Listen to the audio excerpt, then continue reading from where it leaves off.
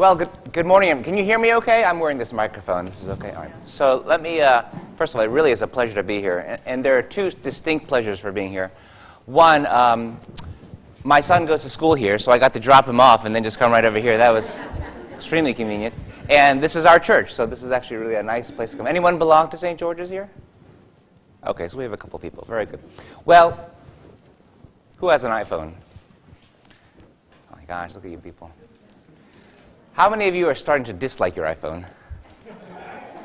right. I know, right? Right, right. Well, I, I am here to tell you about an unusual tumor, but it's always in the, every time I do anything, it's always in the context of Steve Jobs because his story is so remarkable in many ways, but so sad in other ways that um, it's, um, that it's, you know, we try to get out and educate people as much as possible.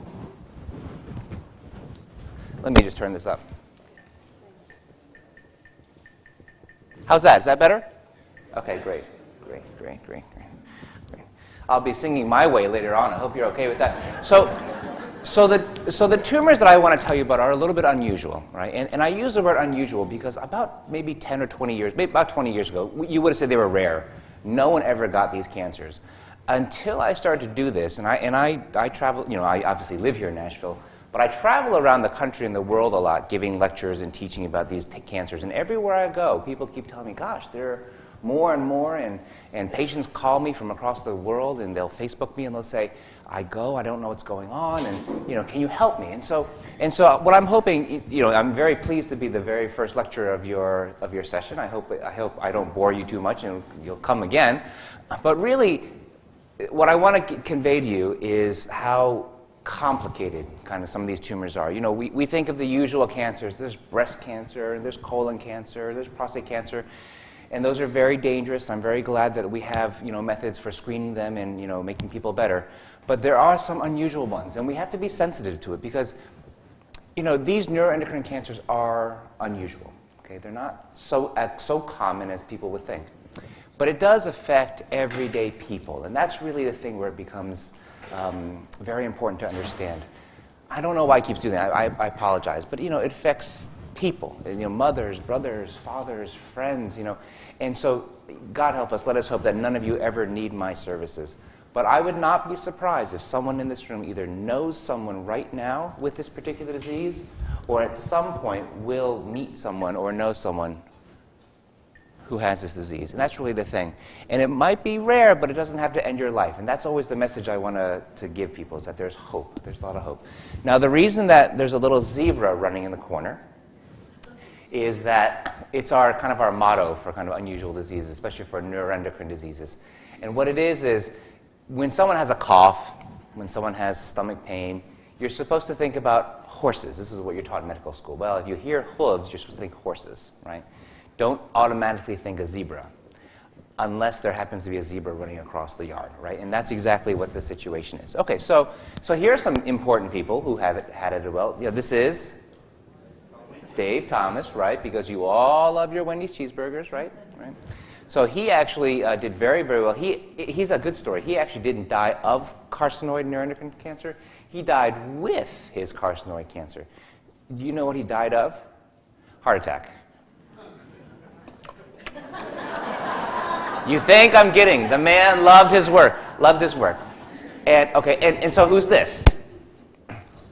Right, Audrey Hepburn, right. Audrey Hepburn, for many, many years, I mean, you know, she, as she got on in her days, she was always very, very slender. But she said her stomach hurt all the time, and, and no one, they just kind of poo pooed it. And they said, well, you know, it is, it is what you have, you're very busy, you're stressed out, until they did an operation in her and they found there was cancer spread all over her belly. Yeah, she died of that.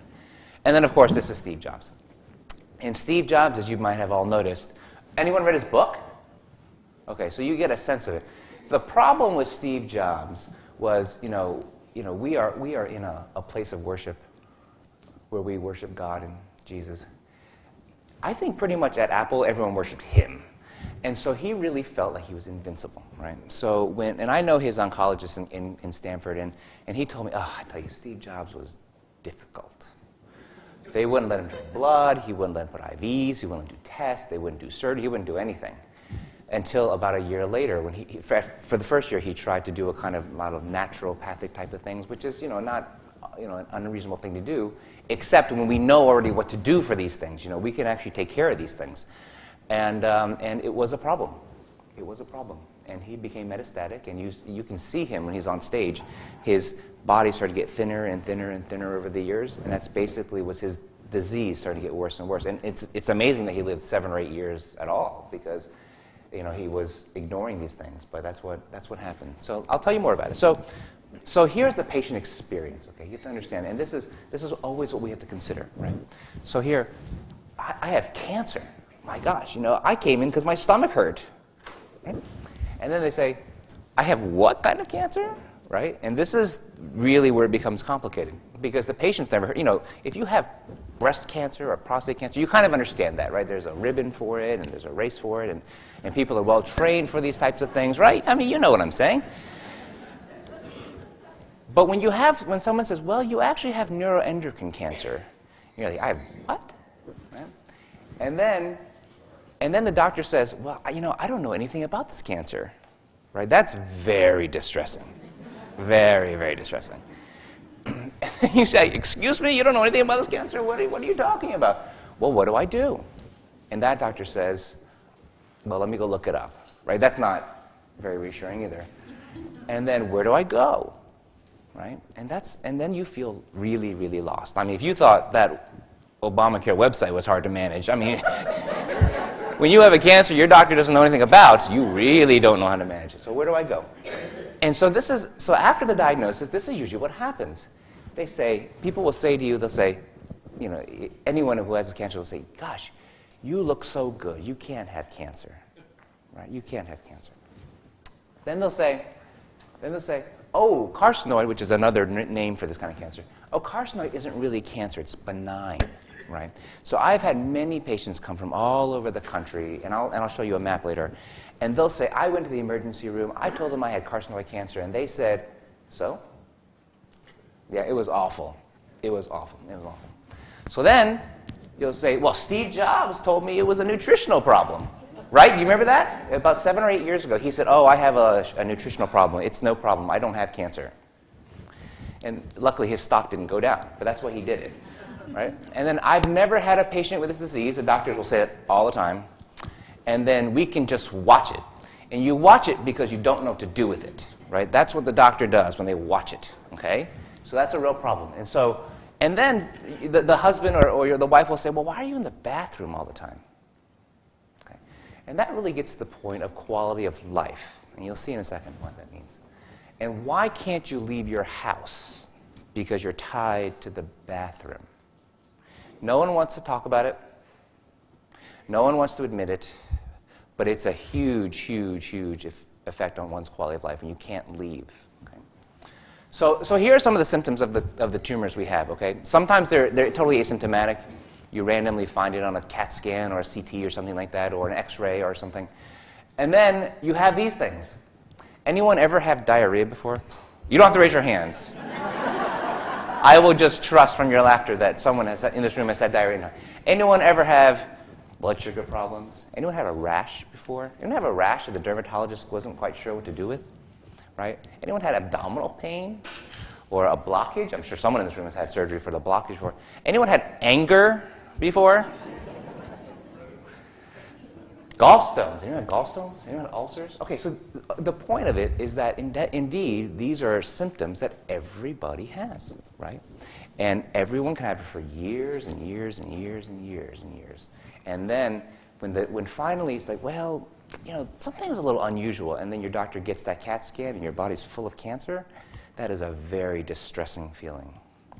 Because it's been going on for a while, right? So here, these are things that happen all the time. Anyone flush? Anyone flush? I flush all the time, right? You know, yeah, I you know walk in the room. There's a beautiful woman in the room, and I'm like, oh my god, I'm nervous. But in fact, it's a, these are all very common things, and that's where it becomes scary. Okay? So let me tell you a little bit about these things and why it's so unusual. And, but, but it all makes sense when we're done. So, so what is a neuroendocrine cancer? Well, neuroendocrine cancers are unusual cancers in general of the intestines, the pancreas, and the lung. Okay? So you know, it's, it's, it, we all take breathing and eating for granted, right? It works really, really well until it doesn't work, okay? So when you're chronically wheezing, you know, you certainly could have asthma, and that would be the kind of the horse version of it. Or you can have bronchial carcinoid, which would be the zebra version of it, okay? You can have diarrhea, which would certainly be from, you know, that gas station sushi you had yesterday. Yeah, that can certainly be.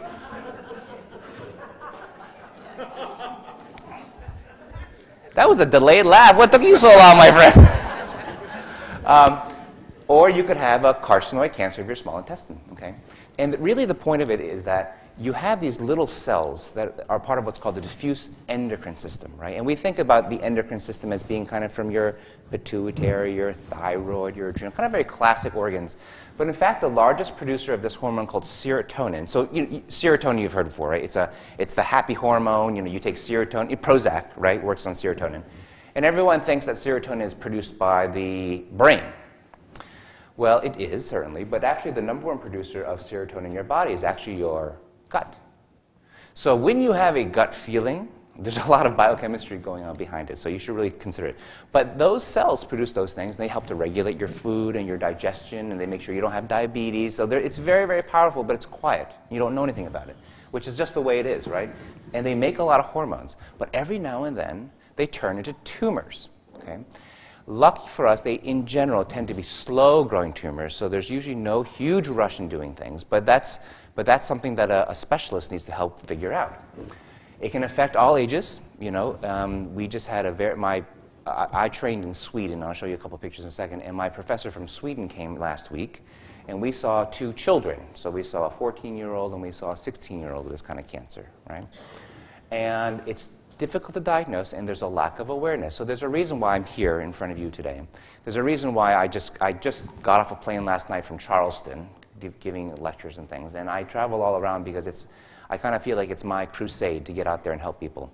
Uh, because if you don't know about it, there is no question there's a fair chance you will die of it. Okay? Whereas if you know of it and we can take care of you, you can live a long, good, healthy life. So here's what here are some numbers. I won't show you too many graphs. I'll show you mostly pictures to kind of illustrate what we're doing. But just to give you a feeling that there's something about it that's going up, right? So these are all the various kinds of neuroendocrine tumors, and it's not, you know, you can see they come from various organs, and most of them are relatively stable. The pancreas, the the uh, uh, col- sorry, I don't know why it keeps doing that. I apologize. I, anyone? Uh, it's okay. The colon, but there are two that are going way, way, way up. One is the rectum, and that actually I think is mostly from all the colonoscopies we're doing, which is great. I'm very pleased about that. But look, the small intestine is going up and the lung is going up, right? And this is really what my practice is like. People just pour in from all over the country with these um, unusual tumors, and they come mostly from the small intestine and the lung. And the problem is, those are places that are hard to find. Yes, sir? Why isn't uh, liver cancer part of the neuroendocrine uh, umbrella? Well, it is part of it. So liver cancer. So the question was, why is liver cancer not part of the neuroendocrine umbrella? There are very few actually true neuroendocrine cells within the liver. The liver is a very specialized organ. But the one place that the neuroendocrine cells all like to meet up is in the liver. So a lot of my therapy that I, I, I do is directed towards the liver. So, but liver, the liver itself, it can be very complicated. It can have different types of cancer. It can have a, what we call hepatocellular carcinoma, which is a, a, a direct tumor of the liver. There are what called cholangiocarcinomas. There are colon cancers that spread there. So the liver is a very popular place for tumors to go. But it is, it is something that we consider very, very deeply. So you can see it's going up. Now, the thing about it, you would say, gosh, well, this is an unusual tumor. Dr. Liu is, you know, how does he make a, a, a career of this? Well, the truth of the matter is, there are actually many more patients with this than you think, right? So this is liver cancer, as the gentleman asked. Here's esophagus cancer, pancreas cancer, and stomach cancer. And these are the, I'm sorry, I apologize. I don't know why that's happening. These are the number. These are the people walking around with this cancer, right? And the reason there's so few, relatively, is because they die. They only live for two or three years. So that's the problem, okay? But if you look at this quote unquote rare cancer, look how many people are just walking around with this disease. And I'll bet it's twice as much, actually, than the, most of the people don't even know about it. And it's really because we can take care of these people so well that, in fact, they do well and they can live well and, you know, they can continue to pay taxes. And that's the most important thing about all of this medical care. And that's the goal, right? But it's, it's very, very underappreciated. So, and this is really what we're all about at, at Vanderbilt, right? We're really about quality of life. It's always the first thing. And we're about creating a home because when you, when you are diagnosed with something and your doctor has no idea what's going on and you're the one who's doing all the homework to figure out what's, what's happening, it's nice to know that there's some person, some team that is very experienced in this and can really help you. And so that's what we try to do at Vanderbilt. And quality of life, of course, is so very important. And really, it's about hope, having community, and a real understanding. And this is part of what you guys are doing today. Okay? So let me just a little overview. I'll tell you. I told you a little bit about neuroendocrine. I'll tell you a little about diagnostics because that's very important. So, how, what do the tests mean? I can tell you what we can do about it because there's a lot to do, and what's really new at Vanderbilt and why you know why our, our team is so special. Okay. So a little bit more. So here's some of the hormones and cells that are produced. So they come from the lung, they can come from the digestive tract, and they can secrete a bunch of different hormones, which is why they can cause so many um, different kind of syndromes. Insulin, for example, will make you, everyone knows insulin does, right? Insulin controls blood sugar, right?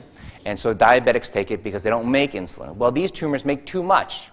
And it can actually be a very deadly disease because if your blood sugar drops to 25, right, it should be between 70 and 90 or 100. If it drops to 25 and you're driving along, you know what will happen? You'll do this. You'll pass out, right? And if you don't feel it, you'll do this. So it can be a very deadly disease, right? Glucagon, for example, is very unusual because it gives people a bad rash. So some people will have a bad rash. The dermatologist will chase it with steroids and things, and they can never make it go away. And in fact, it's caused by cancer. So it's not so simple. And the, the great thing about it is that these tumors almost universally express something called a somatostatin receptor. You don't have to remember that term. You just have to know that there's a target. There's a, there's a, uh, um, a keypad, a key lock that's on these tumors that we use. Okay? And it's been a real struggle because these were first described probably around 1907 by this German uh, pathologist. And he initially called it, he said, well, you know, they look like cancer, okay? But I don't think they're cancer. So he called it a carcinoid, which is cancer like. Okay? And about seven years later, he collected a whole bunch more patients. He said, Oh my God, I made a terrible mistake. This is a cancer that kills people. What he was saying is, this isn't the usual kind of colon, prostate, breast cancer we see. This is something unusual. Unfortunately, his terminology has lasted for the last 110 years. And because of it, a lot of people today, today, you can go to Centennial, I mean, I heard this, and they'll say, that's not a cancer it is very much a cancer, and it's because of misconceptions, okay? It's been called other things before, and this is the problem. It's been called apudomas, it's been called islet cell tumors, and finally we've kind of come down to the term neuroendocrine cancer. That's really the word we use, okay? So again, they, and sometimes we use the word carcinoid, okay? And carcinoid is, is the term when it comes from the lungs and the, and the intestine, the digestive tract. So there's a little bit of terminology that makes it complicated, but I'm, I'm pretty much going to use these two terms interchangeably. Just think of neuroendocrine tumors being kind of the umbrella term. And so that can come from your pancreas or from your gut. And carcinoid is kind of the subclass that comes from your gut and your lungs. Does that make sense? Okay, so keep that in mind. Okay, so this is what happens. Okay, this is what happens normally. These hormones, the somatostatin, will bind to its receptor okay? And it will control the secretion of hormones. You can see these hormones kind of popping out of the cell membrane, okay? That's what happens, and it should be, it's very tightly regulated, it's very wonderful, it's, it's almost magical. It's magical. Um, but sometimes it doesn't work so well, okay? The good, the good thing for us is that these tumors have these little targets on here, so we take great advantage of these things being here. This is a molecule. It's called somatostatin. It's a hormone for those of you who are Latin fans, I know you guys are into learning. So somato means body, and uh, statin means stop, right? So this is the hormone that makes everything in your body stop. And people say, well, you know, why, why do I have this hormone? And I say, well, God was very smart. He said that, you know, it would be a bad to have diarrhea if you're being chased by a tiger, right?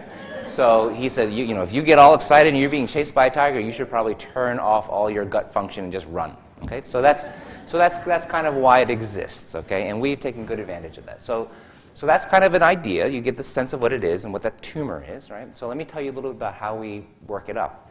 So one of the important things we do is we measure hormones, okay? So we, we are very fortunate. There are many um, uh, cancers in which you can't really measure things. But in, for us, the hormone itself makes a big deal, and it helps us, helps us um, figure out what type of cancer you have and how to treat it and how well we're treating it, right?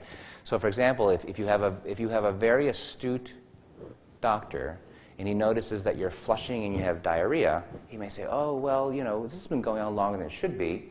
Maybe you have carcinoid, and let's check some of these markers. So they can check something called a 5-HIAA. Don't, remember, don't bother remembering, just know that we have these tools available. Because that's a hormone, that, that, that's a breakdown product of that serotonin hormone I told you about, which causes all these problems. We can measure gastrin. Gastrin actually is an unusual tumor, uh, unusual hormone, and what it does is it gives you ulcers, really bad ulcers that never ever go away, right? So that's really the problem. Something called Zollinger-Ellison syndrome. Insulin I mentioned to you about, glucagon I mentioned to you about, VIP, vasoactive intestinal peptide, you get diarrhea, right? But this is not kids' diarrhea. This is where you get diarrhea like 25 times a day diarrhea, and you're hospitalized. We, before we had all these therapies, my old friends, they'd say, oh my gosh, we would keep them in the hospital. They couldn't get out of bed. They were having diarrhea constantly. Oh, it was awful. Awful, awful, awful. So these are not so simple things. We take it for granted now, but they're not so simple. So one of the things we like to do is we like to take pictures, okay? And pictures are very, very, very important, these things. And, and I'm, I'm, sure everyone in this room has had some kind of CT or MR or ultrasound or something, so you, you, can, you know how important it is.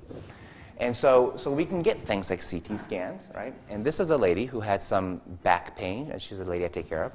And they didn't know what it was, so they got this CAT scan, and it turned out she had a big tumor in her pancreas here. I don't know if you can appreciate that. But this is the, her normal pancreas, and this kind of rim here is a tumor. Okay? Keep that picture in mind because I'll show you what it looks like when I took it out. Here's another gentleman too. Here's a very, he has a very interesting story. He, uh, he had, was on, he lives in Kentucky. He was, it was driving to, on vacation or something, and his stomach hurt really badly. So he went to the hospital, and just a local hospital, he didn't know anything. They just stopped by, and so they said, you need surgery right away. So they took him to surgery, and they took out his intestines. And then a couple days later, they said, you know, we think we, you have a rare cancer. We think we need to take you back to the operating room. He said, absolutely not. so he got on the internet, found us, came to us, and in fact, we took out this tumor. You see that tumor right there? And these blood vessels that run along it? And so the standard operation um, would have been to take all of this. And if you take all of these blood vessels, you have to take all the small intestine. So he would have, he would have had very, very short small intestine. But since he came to see us, and we were very, you know, lucky to take care of him, we were able to remove that and preserve all of his intestine, right?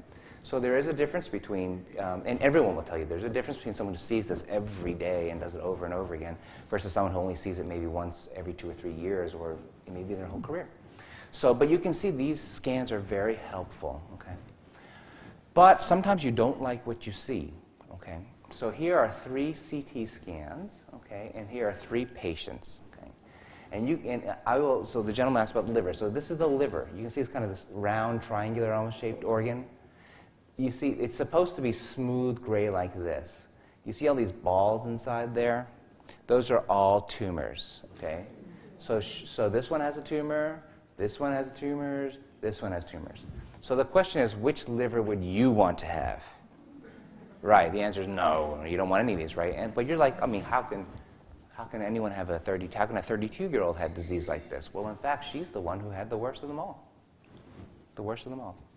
So it just goes to show you that it is blind of age, it is blind of gender, it is blind of intelligence, it is blind of education. It is what it is. And sometimes you have to be very, very careful about it too, because this is what's called an MRI of your liver. Okay, and this is not routinely performed, but it's very important. It's a very important test for me. So, for example, this gentleman is from Alabama, and he had a very astute oncologist. And the oncologist checked his blood, remember, like I told you. So he had this cancer, it was, it was removed, and, and the surgeon told him, You're cured. Told him you're cured.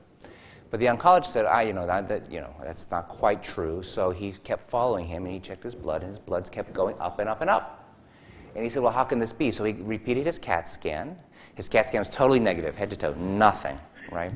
Then he said, You know, I don't believe this. This is a smart doctor. And he said, I don't believe this. So he got something called an MRI, and in fact, there was a tumor sitting right here.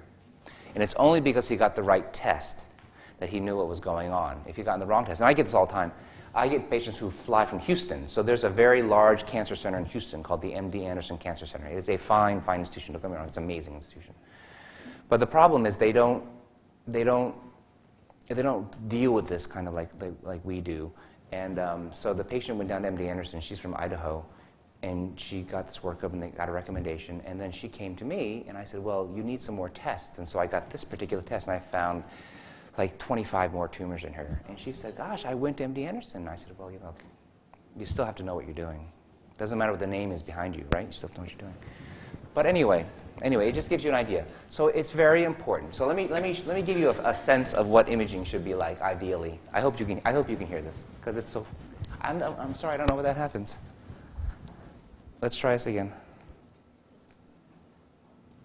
Can you hear it? Oh, here you go. Let me start. Let me start over. Let me start over. Hold on. I love this video. It dates me, I think.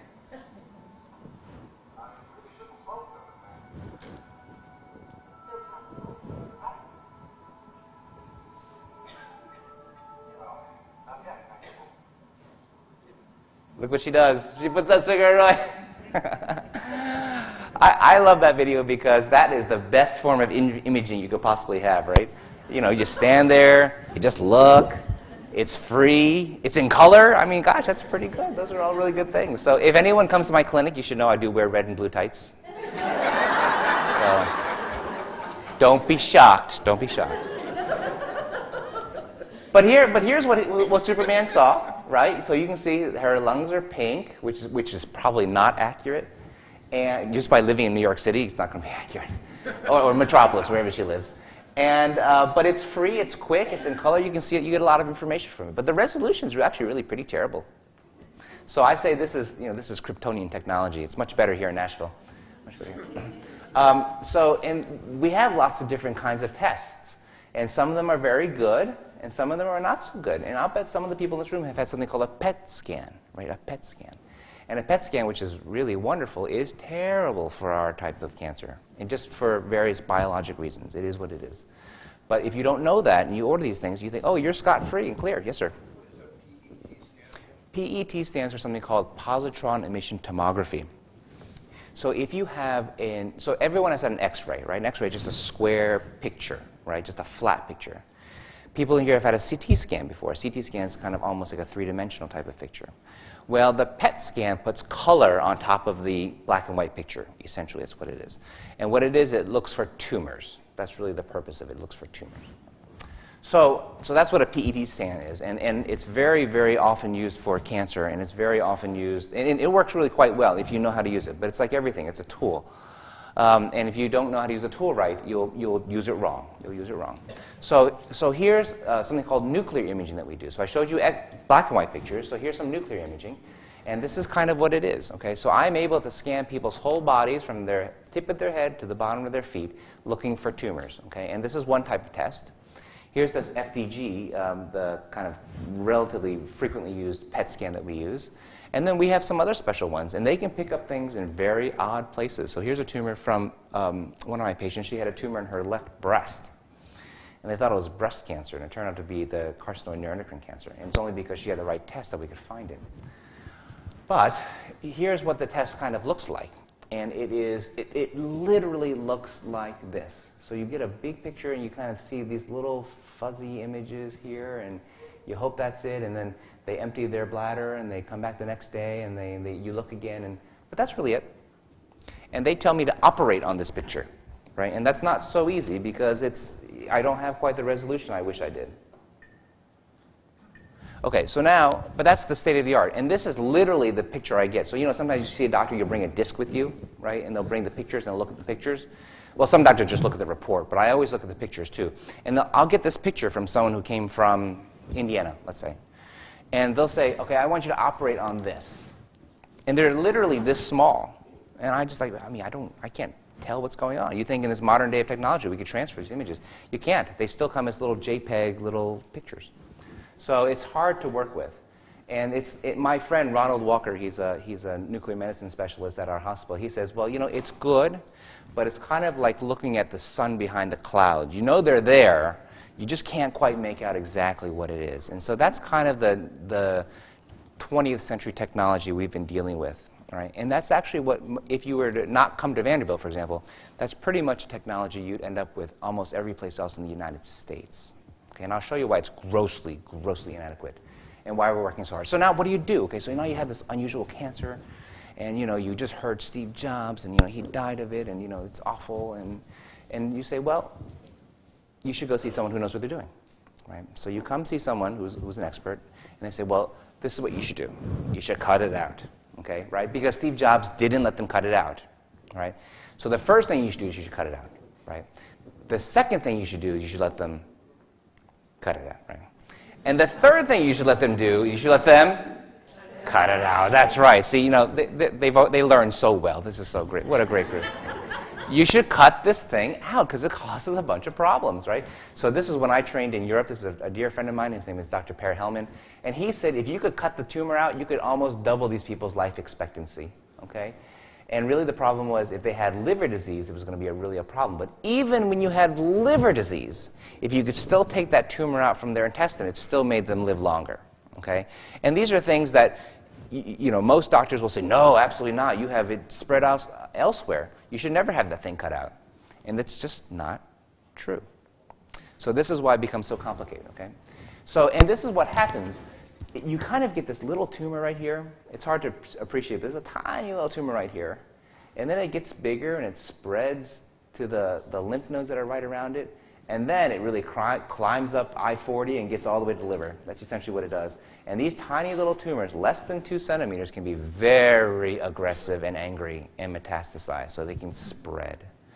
So it is a totally different paradigm that we think of. Normally, we think of kind of big tumors spreading elsewhere. In this case, these little tumors can spread in a big, big way. So, you know, you have to under, that's why it's so important to see someone who thinks about it all the time because they understand the difference in the concept. And now you all understand too, okay? And let me show you. Here are some pictures. So, so I do do a lot of liver surgery and we do it very safely now because we have lots of tools and, and tricks and, and toys that let me do the, the, the liver surgery very safely. So these are some of the things that I use and I'll show you why it's so important. So, and here's another kind of technology I like to use. It, allows, it lets me kind of generate three-dimensional images of the liver. So I can measure how much tumor you have. I can find it. I can plan my operation, those fancy little things.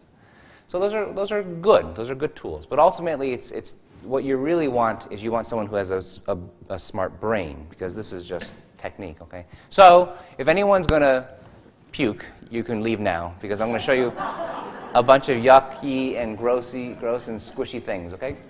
So, so here,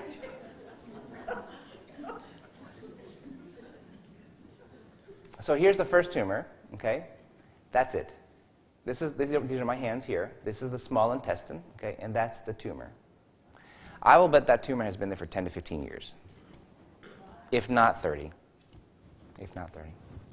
So you can appreciate that if you are in a small hospital in um, Cumberland, Maryland, or wherever, and someone comes through, you could easily walk right past that and just not even see it as a surgeon. As a surgeon, not even see it. Okay. Now you want to make it even harder? How about that one? See it? Yeah, you can't even see it. You can't even see it. And the only reason is because I, you know, when I do this operation, I feel so very carefully. I mean, I've gotten used to it, so I feel very carefully. I say, oh, here it is. You can find it. Here's another one. Here's another. So my, one of my partners, who's older than I am, far, far um, senior to me, she had this operation, she performed this operation, and, and she said she couldn't find it. So I went in to, to help her. I said, oh, here it is.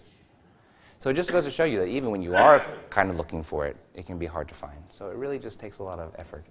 And that's it, right there. So we open this up in the back table, and you can see here, that's all the tumors. And it probably is 15 to 20 years old. Yeah, it's strange, isn't it? 15 to 20 years old. Right, right. So older than some of you in the room, I'm sure.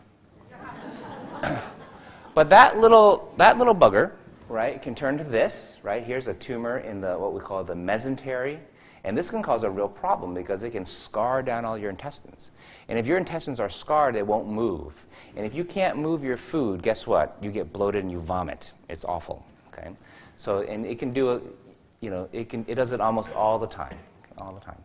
And here's one, right? And so if you don't get used to it, you don't recognize this too. Here's one where he said, oh, well, he has a carcinoma right here. See it?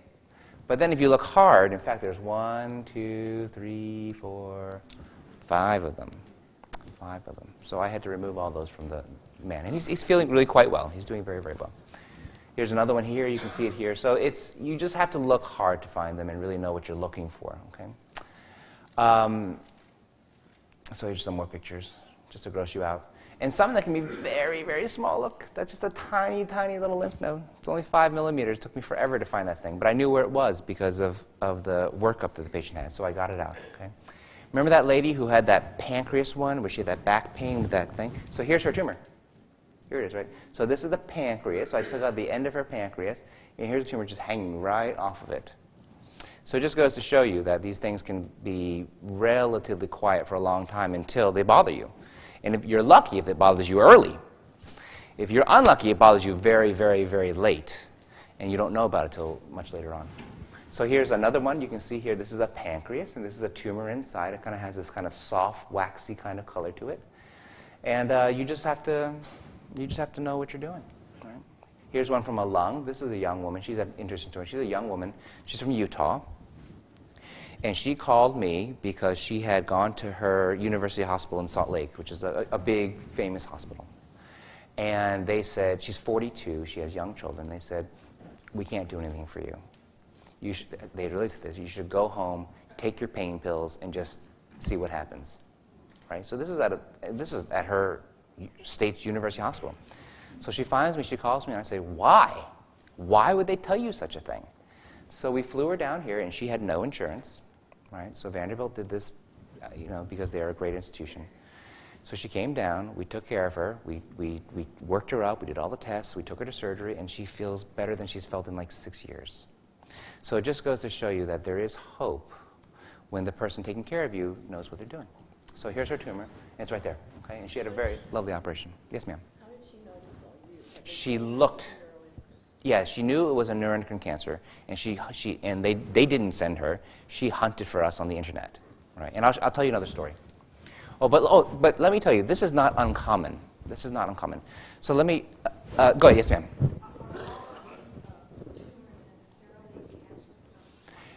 That's an interesting question. I can't tell you that. That's actually a much deeper question than you think. In fact, if anyone follows the news recently, they've been talking about, well, what's a real breast cancer and what's not a real breast cancer. That's a very deep question. The problem with a lot of these tumors, they cause problems because they secrete hormones. So they cause, they cause people problems. So we take them out anyway. That's why we do that. Um, but it certainly could be, it would not surprise, well, they can't all be, I know for sure, because they've done autopsy studies in which people who have had no cancer died of their heart attack or whatever, and you go and you find these things, and they're actually about 10 times as prevalent as we think they are. So they're actually, so people do die with it rather than of it. So your answer is, for, your, your question is very good. Um, but the, the, the, story I want to tell you is that it's, it's not so easy to diagnose, and I don't, you know, I don't begrudge anyone who, gives, who doesn't really understand it. So when I had just arrived back from Sweden, um, and I'll tell you the story a little bit later, um, I uh, was at home in the middle of the day. I was really tired, and so I turned on, because I can't watch TV in the middle of the day, right? You know, I'm you know, here with you guys. and so I turned on the TV, and what other, like, it's like the most in, in, important medical information show on television, the Dr. Oz show, right? so the Dr. Oz show is on, right? And so he says, eat your sweet potatoes and your blueberries, or whatever he tells me. and so he, he, does this, he does this show. The title is called Am I Normal? Right? Am I normal? I'm like, well, that's a loaded question. so, and so he goes to the audience, and he, you know, he goes to a, a young woman, and he says, you know, tell me what your problem is. She says, oh, I have blah, blah, blah. And she says, oh, that's okay, you should do this. And he goes to a young man, right, who couldn't be but my age, you know, 30 something years old, and he says, What's your problem? And he says, Well, I um, have hot flashes. And he's young. And, I, and he says, and he tells a little bit of stuff, and he says, Oh, you know, don't worry, hot flashes are very common, it's no problem. You know, men get hot flashes just like women do, they have, you know, hormonal issues. And I was like, I don't remember having hot flashes. I mean, you know, I'm, I'm the same age as that guy. I don't, I don't think I'm going through menopause. so, so I write to Dr. Oz. So I know Dr. Oz personally, actually, because he and I work together at Columbia. And I write to him and say, oh, you know, Mehmet, your show is great. When you need a young Asian correspondent, call me. But then I said, I saw your show, it was called Am I Normal, and you interviewed a young man. He said he flushes.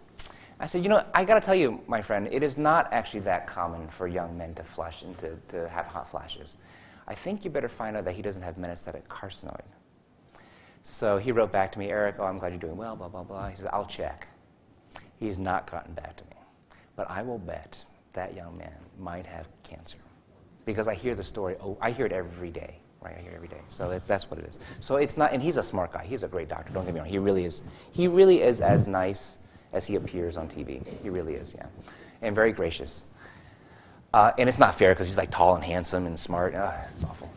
So, so jealous, so jealous. But anyway, so so so besides surgery, we do have hormonal therapy, right? So it's not like it's not unlike our um, uh, breast cancers, right, where, where, women are, have their cancers removed and they're treated with hormone therapy for five years. So we, we have kind of that type of thing too. And we treat them with something called somatostatin analogs. So remember that hormone I told you about at the very beginning that made spin around, that's natural to you? Well, we have that as a synthetic version. It's actually won multiple Nobel Prizes. And it has truly, truly revolutionized our field. There, you know, you'll hear about this. There will be some like $30,000 drug that you'll get, and it, it, improves your survival for like three days. I mean, you've heard this story before, right? And that's what, but this drug, when it first came out, it got that person who was having diarrhea and couldn't leave the hospital out of the hospital. It made people who had um, bad heart disease, it got rid of that. It made people who had diarrhea 12 times a day, couldn't leave their house, down to three or four, which is, you know, relatively manageable and they could free themselves. So I always say, I say, this is as close to a miracle drug as possible. And it has made that company $26 billion. So that's a miracle in itself. So it is, it is a very, but I say, look, you know, they deserve every penny of it because it has totally, totally changed people's lives. That is, that is money well spent. Okay. We have other drugs too, something called interferon. It's a hormone that we use as well too. There are chemotherapeutic drugs. You know, if, if God help us, anyone here has had, has had cancer and chemo before, you know it's not so easy, right? These are poisons. These are poisons. But sometimes they work. But in our cancers, they only work in very selective cases. So this is where, if you go see kind of a regular community oncologist, they may think, well, I know how to give chemo, so I'm going to give you chemo. And this, so, so let me tell you the story. So a young woman came to us last week. She was 17 years old. And she had this cancer in her lungs. And she saw our professor, and she, and she brought a letter from this place called Cornell University. You may have heard of it. It's a very powerful, very prestigious, wonderful hospital, right? It is a wonderful hospital, let me explain. But their adult oncologist wanted to give her heavy duty chemo, the whole kind of shebang. And uh, so he came to us and he says that, was, that would have been wrong. So she was smart. Her mother was very smart. Obviously, you know, your, your daughter has cancer. You're going to you're gonna chase the best doctor in the world, right? And he happened to be here in the States that week. So they came down and they said, that would have been wrong, but we're going to treat you with this medicine, this medicine, this medicine. And her, her quality of life will be much, much better. So it just goes to show you that it's, you have to just be careful about these things. One thing that we do do is, is we treat the liver a lot. And this sounds very kind of high tech, and it really is, but what you can do is you can actually put catheters into your liver and you can shoot it with poisons, you can shoot it with radioactivity, you can shoot it even just with ways of blocking out blood supply, and you can actually significant, you can kill a lot of these tumors. So we have a, you can see here, there are a lot of tools in our toolbox to use, right?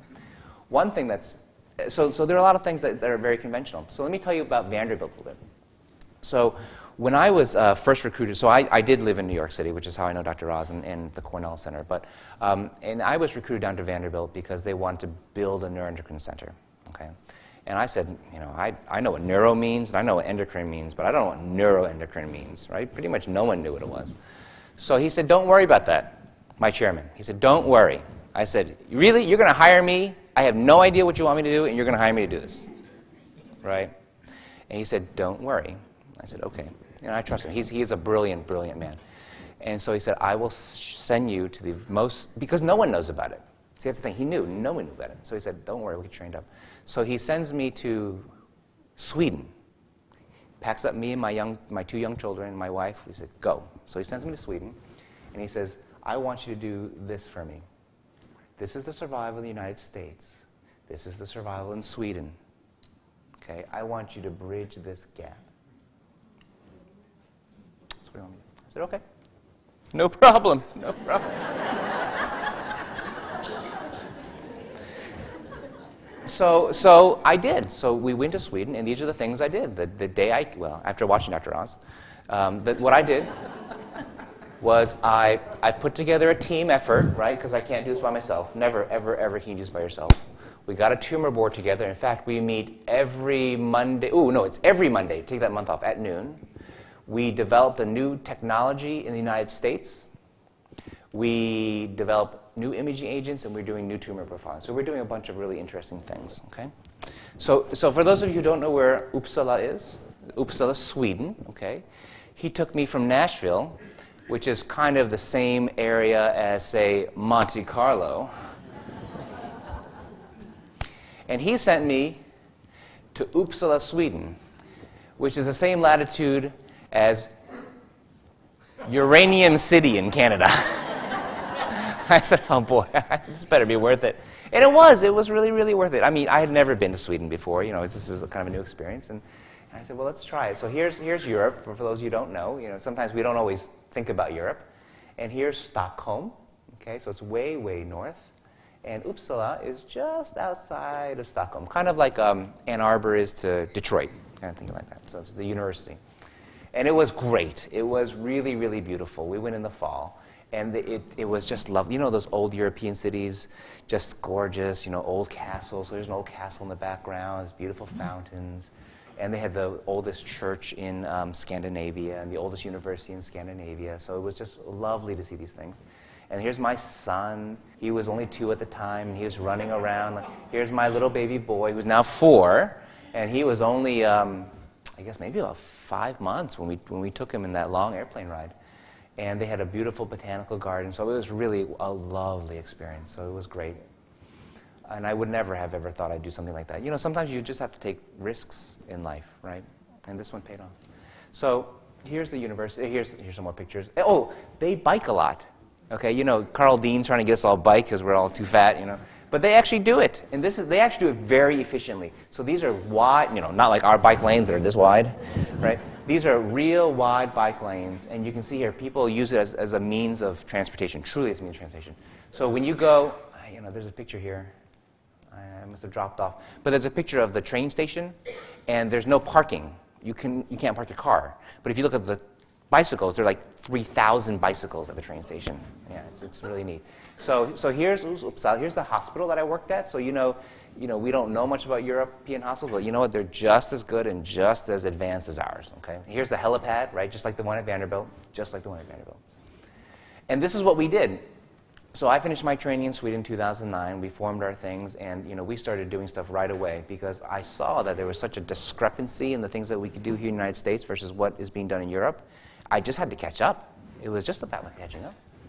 And so when we first, you know, before I arrived, you know, obviously most of the patients we saw were from the local area, kind of the local area. They, they just come to Vanderbilt for the name, as they do for the Mayo Clinic or the Cleveland Clinic or MD Anderson.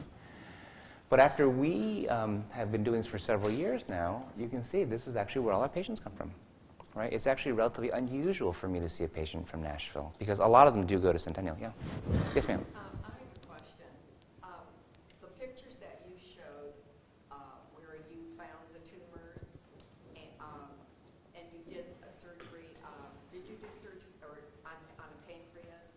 Sure. Yes, ma'am. Okay. Um, my husband had cancer of the pancreas, and it was on the head of the pancreas. Yeah.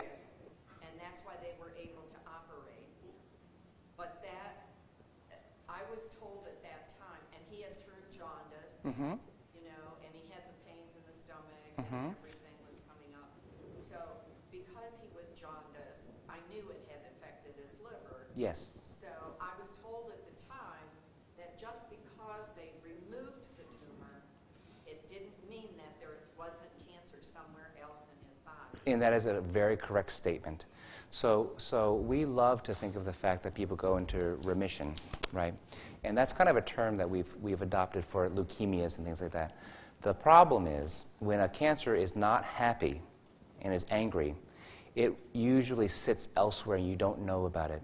So cancer is much more a systemic disease than we like to think, which is why we do hit people very hard with chemo. So her husband, you know, had, had probably, and we'll speak in generics now, okay, so there's nothing. So, so probably had something called pancreatic adenocarcinoma, right, which is kind of the usual pancreas cancer, which is pretty deadly. It is pretty deadly.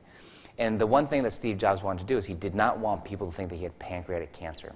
Okay, that was the thing he didn't want them to, to know. Because that is a, that is a you know, um, um, let's see here. Luciano Pavarotti had it. Um, um, the guy, Patrick Swayze had it. Um, Michael Landon, right? Michael Landon had it. So, and you know, they're, and they're not with us anymore, right? So it just goes to show you that it's, it's a different disease. So, but that particular cancer, so it's not necessarily that it affected his liver, but what it did, it was it blocked the tubes that drain the liver. Okay, so this and and um, so they, you know, you can have surgery, you can remove it, kind of relieve those problems or, or other techniques, but you just get chemo because you just expect there to be tiny little specks, and it'll come back in two, three, four years, right? Our disease is very similar, except that if you, get, if you treat it right, you can get them to live 10, 15, 20 years. Right? So that's really the difference. So, yes, the answer is there is a very fair chance it could have been in the liver. Yeah, when they told me that, Yeah. I knew he was going to die. Right, I didn't know when, but I knew. Right. going to. And he went through chemo, radiation. Six months later, he had to go, uh, they said there was nothing he could do. There was an experimental drug called gemcitabine. Yes, yes. And they did that, telling me that it would just give him some quality, but it would not, uh, would not, uh. Cure him. the cancer away. Right, and that's the problem. That's the problem. And that's the problem with our cancers right now. We like to pat ourselves on the back and think that we're curing these people of their disease, when in fact we are not. Um, and we try our best. There's no question. I mean, every doctor, I don't question anyone's passion or desire or, or intentions. It's just that we it, is, it is far more complicated than um, we think it is. And that's, that's where it becomes quite a challenge, right? And this is just an example where if you just don't understand this particular disease pattern, you can treat it in the wrong, in the wrong pattern. But yeah, so thank you for sharing your story. So anyway, so we do see a lot of patients from all over the country, and it's very helpful. And really what we've become, we've become a, a referral center for referral centers, okay? So here's a lady who had her scan, and you can see this is, you don't have to be a radiologist. This is not very fancy. There's nothing there. But then she came to our center, and she had this. And so she actually had a bunch of tumors, sorry, a bunch of tumors inside here. And that's, she was the very first person to ever have this test. So we take this molecule, we, we put a little uh, um, isotope inside here, and it's like a light bulb.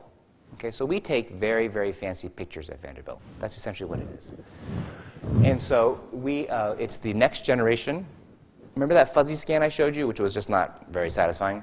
So we, that's, we have the next generation. So we have the 21st century version of that at Vanderbilt. And we were the only center, we were the very, very first in the United States to do it. Since then, you know, it's kind of like having fire or a screwdriver or a hammer.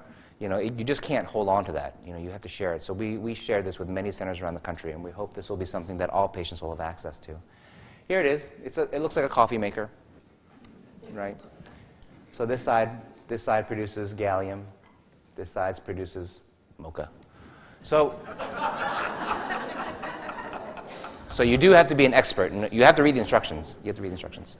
So now, so here, for example, is a lady, and she lives here in Nashville, and, and I can share a story because she's really good about it. She went over to the hospital across the street, which is a fine hospital, don't get me wrong. There are wonderful, wonderful doctors there. I would go there if I was sick, no problem. She had a disease, she had a tumor, it was removed, and she was told that she was NED, no evidence of disease. She was told she was cured. So then she says she goes about her merry way, and she says, and then she's sitting with her husband, and she's watching TV, and Steve Jobs just died, right?